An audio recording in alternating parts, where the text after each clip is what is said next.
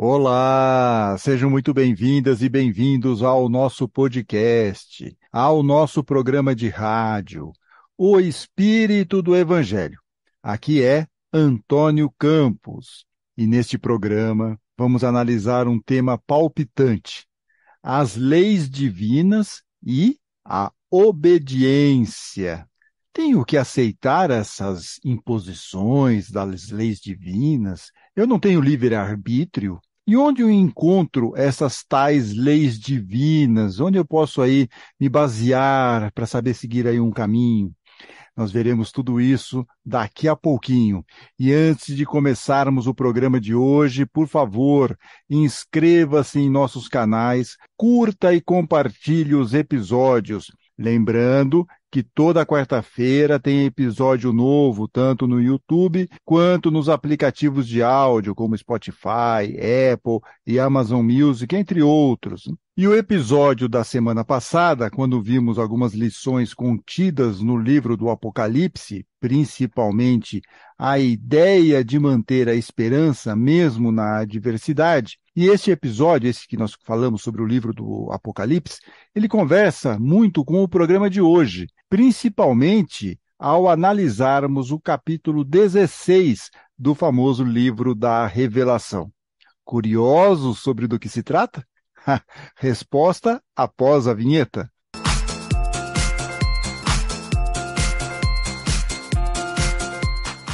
É, vocês ficaram curiosos, eu tenho certeza, como que a ideia de obediência às leis divinas conversa com o livro do Apocalipse.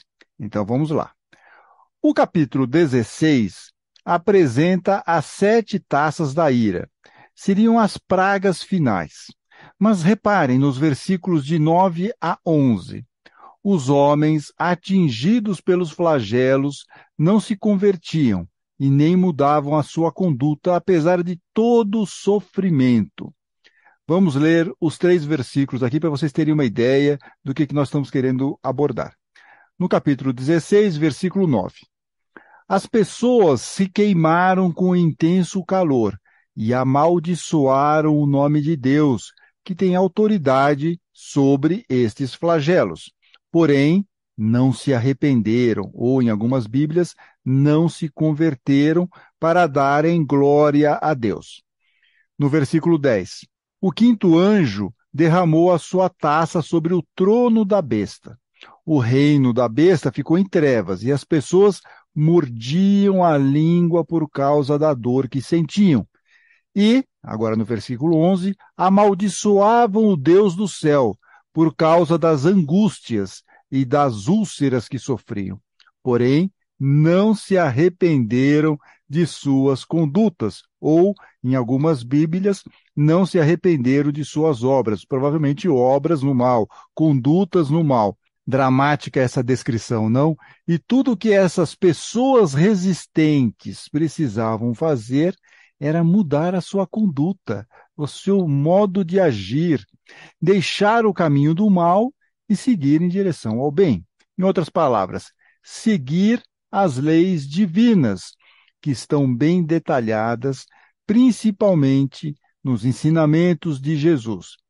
E isso fica ainda mais claro com a doutrina espírita, que exemplifica bem a nossa relação como espíritos com as leis divinas, a ação e reação a partir das nossas atitudes. Aliás, vale a pena dar uma lida no livro O Céu e o Inferno, o quarto livro deixado por Allan Kardec. Deem uma olhada no Código Penal da Vida Futura, lá no capítulo 7. Capítulo 7, esse que tem um sugestivo título: As Penas Futuras segundo o Espiritismo as penas futuras segundo o Espiritismo. E nesse capítulo tem um trecho que é o Código Penal da Vida Futura. Então, para bom entendedor, eu acho, né? Meia palavra basta. Só de ver os dois títulos, já temos uma ideia de como funcionam as leis divinas. É, é, o, temos o Código Penal da Vida Futura, como se fosse o nosso Código Penal aqui. Se a gente faz alguma infração, nós vamos ser responsabilizados por isso. E o título do capítulo é As Penas Futuras segundo o Espiritismo. O que fazemos aqui tem consequências em nossa evolução, em nossa vida no futuro, nossa vida espiritual. É como diz um ditado, né? Manda quem pode, obedece quem tem juízo. Manda quem pode, obedece quem tem juízo. E se temos juízo, esse juízo aqui do ditado, ou achamos que temos esse juízo, nós precisamos nos enquadrar na justiça divina. Isso, claro, se quisermos investir em nossa evolução espiritual. Caso contrário, vocês até podem imaginar, né? Corremos o risco de ser aqueles humanos em sofrimento no livro do Apocalipse que vimos há pouco. Ok, linguagem simbólica, mas nós vamos sofrer demais. Como evitar isso? A resposta está na famosa questão 625, 625 em O Livro dos Espíritos. Kardec pergunta: qual o tipo mais perfeito que Deus ofereceu ao homem para lhe servir de guia e modelo? E aí os espíritos de luz responderam de forma seca, simplesmente: vede Jesus, ou veja Jesus, ou simplesmente Jesus. Kardec faz um comentário na sequência que é bem esclarecedor para nós. Ele diz o seguinte: para o homem, Jesus constitui o tipo da perfeição moral a que a humanidade pode aspirar na Terra. Deus nos oferece, atenção, como o mais perfeito modelo. E a doutrina que ensinou é a expressão mais pura da lei do Senhor, porque o Espírito Divino o animava e porque foi o ser mais puro de quantos têm aparecido na Terra. Repararam? Né? Por que, que nós temos que seguir Jesus? Porque ele é o mais perfeito modelo e a doutrina que ele ensinou é a expressão mais pura da lei do Senhor. Segue aqui Kardec. Quanto aos que, tendo pretendido instruir o homem na lei de Deus, transviaram-no por meio de falsos princípios. Isso aconteceu, atenção também, por haverem deixado que os dominassem sentimentos demasiado terrenos, e por terem confundido as leis que regulam as condições da vida da alma com as que regem a vida do corpo.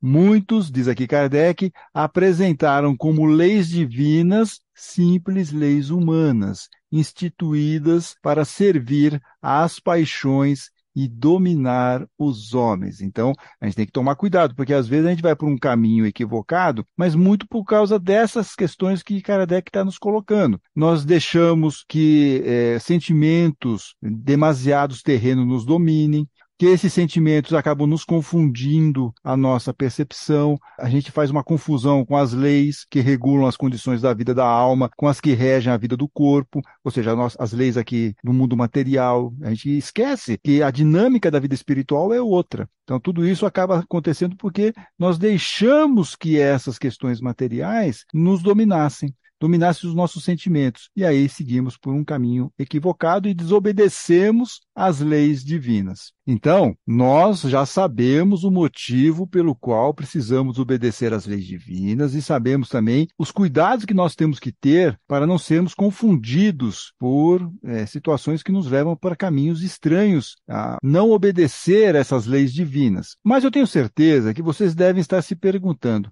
mas, Antônio, eu não tenho livre arbítrio? Desde quando eu preciso sair obedecendo tudo assim? Eu não sou espírita. Espírita não tem a fé raciocinada. Então, por que, eu tenho que obedecer cegamente tudo isso? É, boas questões, que analisaremos no próximo bloco.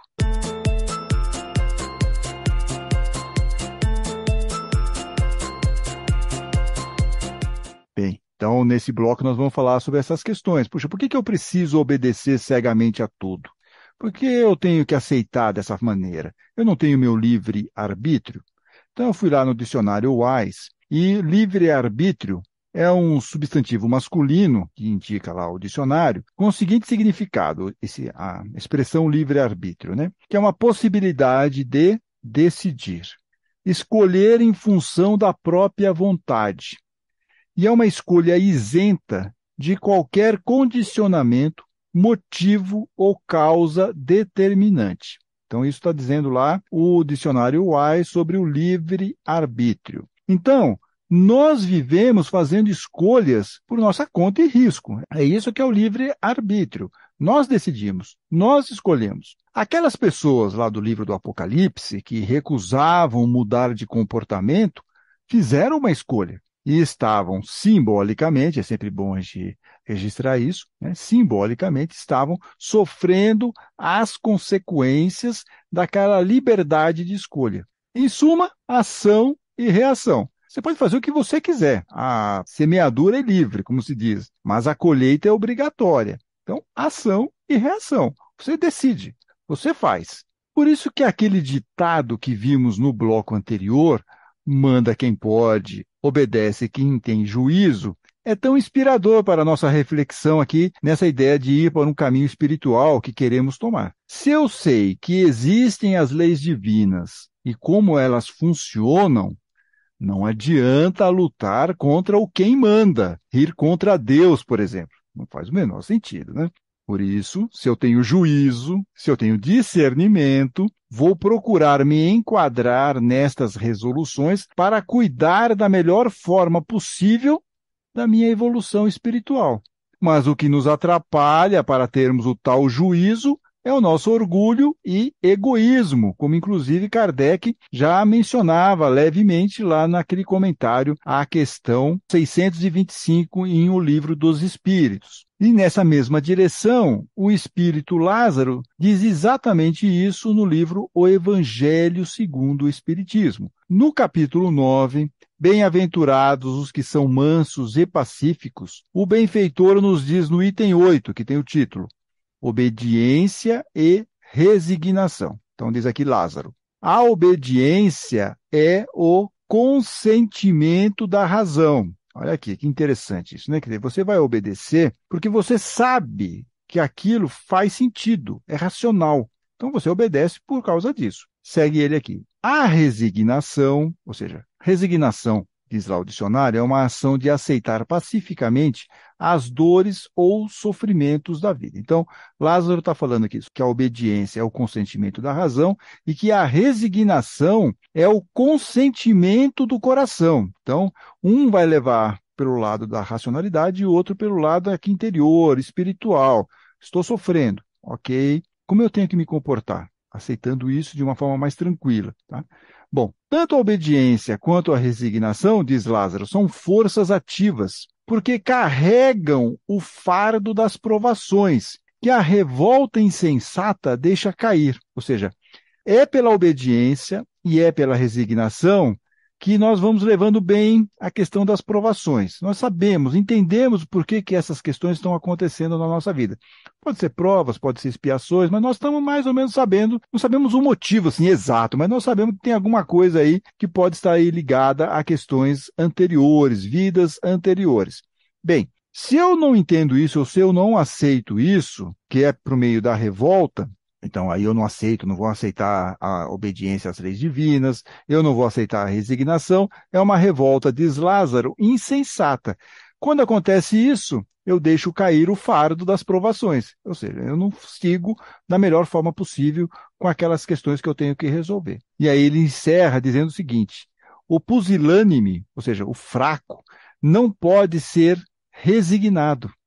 Do mesmo modo que o orgulhoso e o egoísta não podem ser obedientes. Olha aqui que chave bacana para nós aqui entendemos por que às vezes a gente falha em seguir essas orientações aí do plano espiritual, da doutrina espírita, nos ensinamentos de Jesus, por que a gente desobedece? Nós desobedecemos porque ainda estamos presos no orgulho e no egoísmo. Então, por isso que nós não podemos ser obedientes. E assim, por causa desses dois sentimentos, tanto o orgulho quanto a questão do egoísmo, nós vamos desobedecendo aí as leis divinas e utilizamos de forma equivocada o nosso livre arbítrio. E como aprendemos? Ah, boa pergunta. E como aprendemos? Usando a fé raciocinada, refletindo muito a partir do evangelho e da doutrina espírita, colocando freios em nossos sentimentos negativos e mostrando, assim, mesmo com umas derrapadas aqui e ali, falhando numa questão aqui e ali, a gente está lá, né? Tentativa e erro. Que nós estamos provando que merecemos ser um espírito melhor. Nós estamos no caminho. Tá ótimo. Isso que é o mais importante. Aliás, esse é o título de uma música de Xande de Pilares, Gilson Bernini e André Renato. Tem que provar que merece. Tem que provar que merece. E a letra da música é muito interessante, bate bem com a nossa reflexão deste programa, diz o seguinte: Ninguém vai ganhar sem jogar.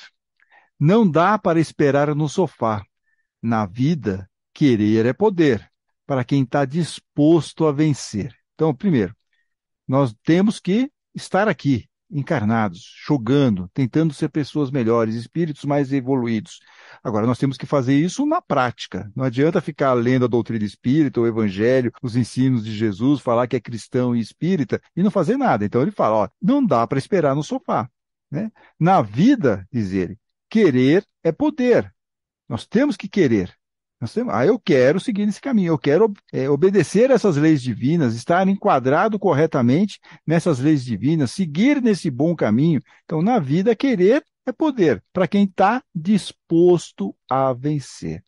E você que está me ouvindo aqui, está disposto ou está disposta a vencer? Quer seguir nessa ideia aí de ser um espírito melhor? Quer passar por essa transformação? Então, na vida, querer é poder para quem está disposto a vencer. E aí diz a letra aqui da canção: Eu quero te ver chegar lá. Quem sabe o que quer, vai buscar. Nós sabemos o que queremos? Aí fica mais fácil. Podemos utilizar o nosso livre-arbítrio de uma forma melhor. E tudo de bom acontece, mas tem que provar que merece.